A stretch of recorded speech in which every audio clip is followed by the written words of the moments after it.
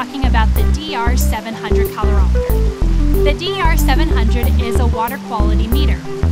It can be used for stream restoration projects, water quality monitoring, and even construction crews use a form of it for their stormwater action prevention plans. The DR700 can be used to test up to 45 different parameters, but today we're only going to be testing for nitrates.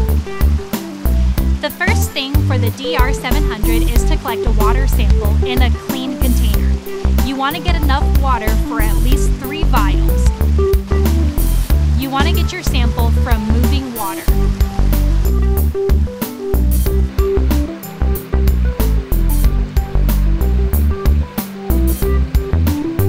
For each vial, you want to triple rinse it first and then fill it up to the 10 milliliter mark on the vial.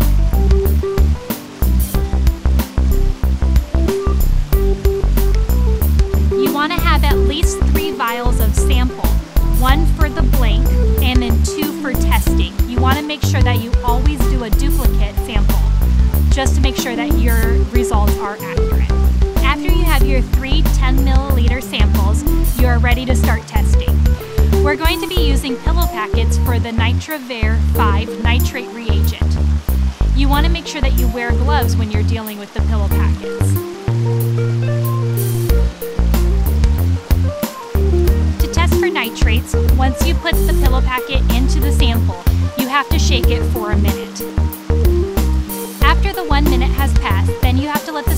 sit for five minutes before you can read it. After you do one sample, then you can go ahead and get the next sample ready. While you're waiting for the five minute time period to be done, you can go ahead and get the DR700 set up. You want to make sure that the right cartridge is in the back, which is the 50.01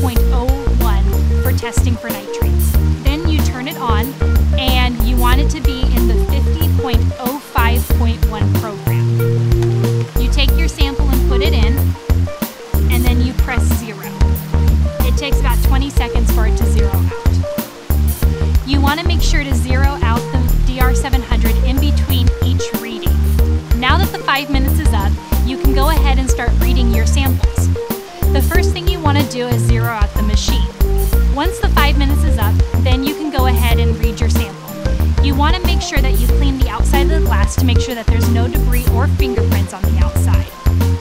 Then you can put it into the DR700 and you press read. This sample is reading at 1.5 milligrams per liter.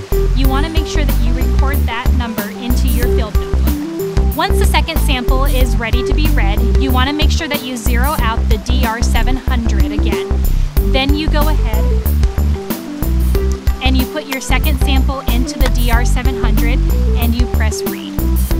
This sample is coming out as 1.3 milligrams per liter, which is 0.2 different from the first sample.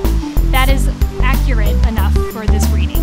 Once you're done with your samples, they are safe to dispose in the wild. You don't need to take them back to a laboratory to dispose of them. That's how you test for nitrates with the DR700.